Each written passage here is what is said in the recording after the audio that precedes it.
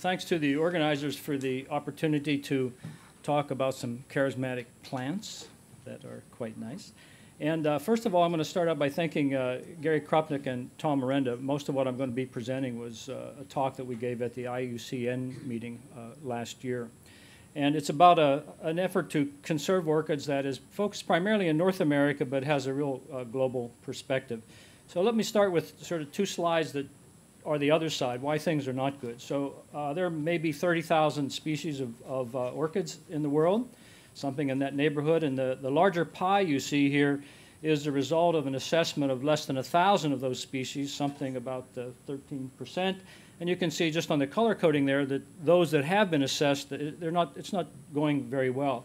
As an ecologist, if I'm to ask, well, how much ecological knowledge do we have about those species that have been assessed, or all of the species in the world, to make sound ecological decisions about conservation, my best guess is probably less than 1%. So we don't know much about a lot of the species that are out there.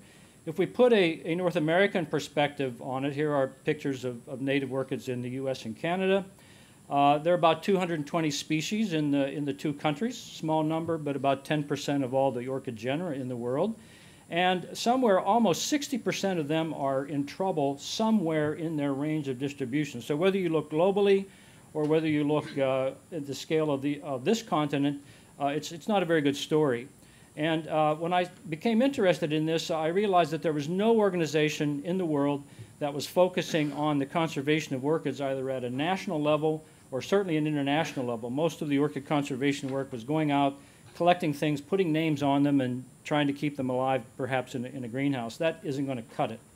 So, so we had the opportunity to do something about this, and about four years ago we established the North American Orchid Conservation Center, and our mission is really simple. It's to conserve the genetic diversity of all the native orchids, initially in the U.S. and Canada, but showing that that model works, we're going to think globally about all the 30,000 species that are out there. So how does this work? What kind of a model do we have? Uh, it's basically an ecological model, and it involves four pillars. The first thing is we have to learn how to propagate uh, native orchids. Very few of them are propagated, and for reasons I'll come back to in a minute.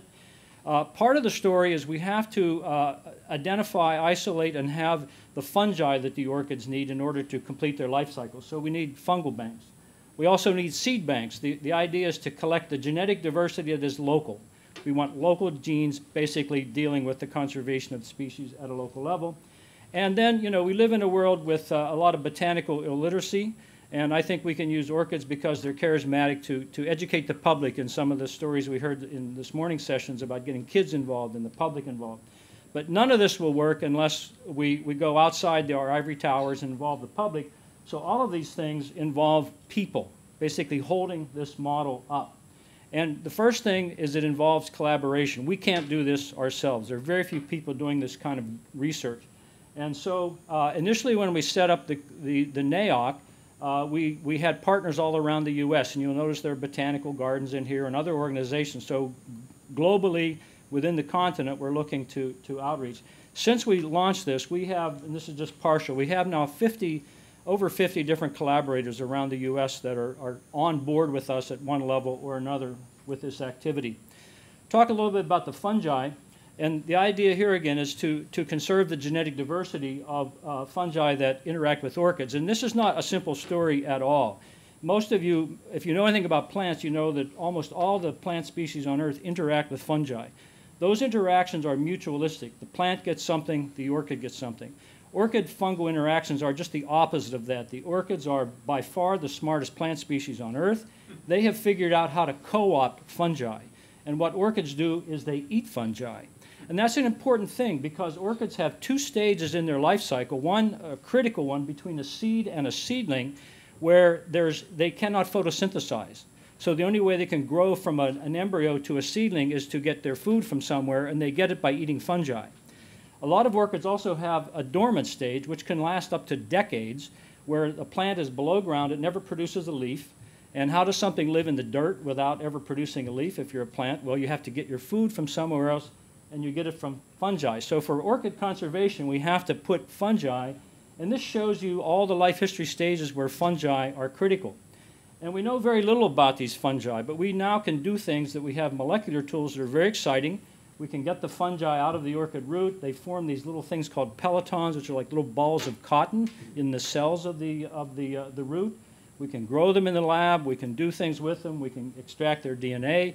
We can find out what they are. We have the largest collection in the world at the Smithsonian now, over 600 isolates.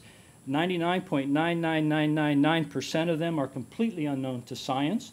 And eventually, once this works, we're going to have tens of thousands of these things, and we need to be able to put them into long-term storage. And this year, we're starting an effort to look into uh, cryopreservation, working with our colleagues at, at the SCBI. Seed banks, the same thing. We want local seeds, local genetic diversity. Uh, we are establishing regional seed banks, and uh, some seeds are stored in individual labs, obviously for research purposes, but there also will be a national backup at a USDA facility in Colorado. Here's the key. We have to learn how to propagate orchids. We know how to grow a handful of native orchids. And, uh, and they're really just from a few species, and we just can't do it unless we learn how to put the fungi together with the seeds to create sustainable populations. And this is really ecosystem ecology. You have to create a habitat that has the right conditions for the fungus to be happy, for the orchid to be happy, so that they can produce babies and go on and on. Nobody is doing that for any orchid species yet.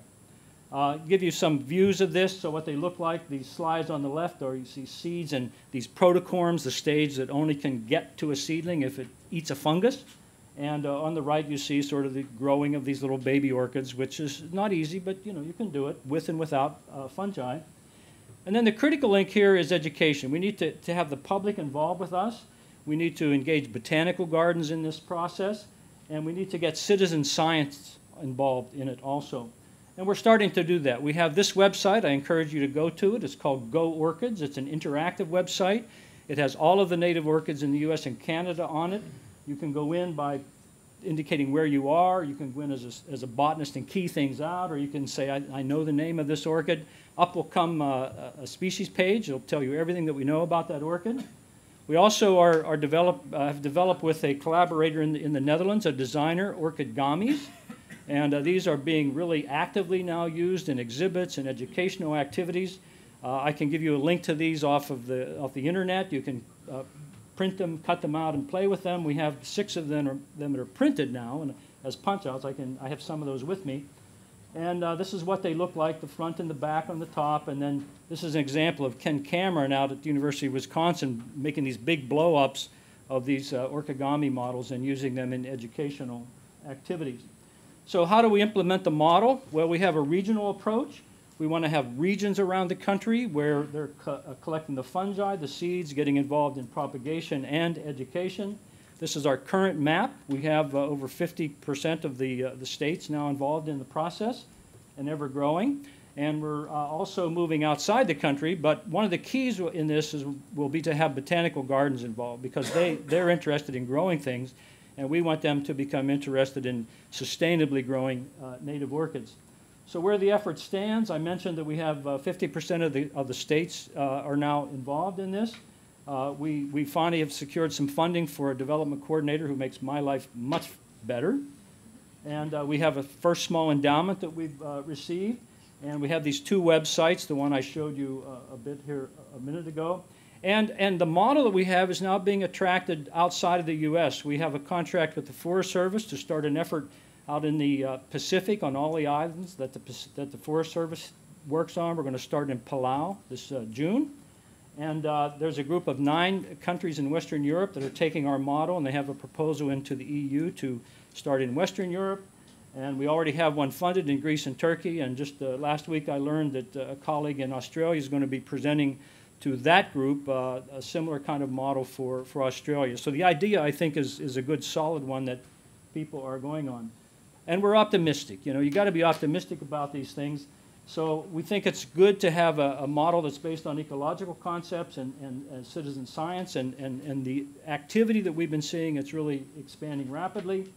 Uh, we're sure that we're going to be able to reach our initial goals, which is to collect material from all the U.S. and Canadian species over the next five years.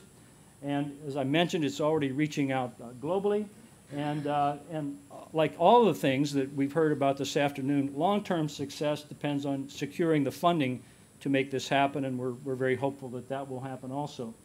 And I'll end with some acknowledgments. Uh, Jay O'Neill has been working with me at the Smithsonian for 39 years, uh, and he's, he's kind of passionate about these things uh, learning how to grow the, the fungi and the orchigamis. Melissa McCormick does all the molecular work that we've been doing. And then our Smithsonian colleagues who helped us get this off the ground, uh, the people at Smithsonian Gardens. And initially, this is a collaboration between the U.S. Botanical Garden and the Smithsonian, and we really appreciate all the efforts that they have. And what sort of got me turned on from being just a dumb old plant ecologist to a fungal orchid kind of ecologist was Hanne Rasmussen, who came, came over from Denmark. She had done some of the early work in Europe on, on fungi. And then, of course, uh, some of the funding sources, both internal at the Smithsonian and some of the grant programs that supported us so far. So with that, thank you very much.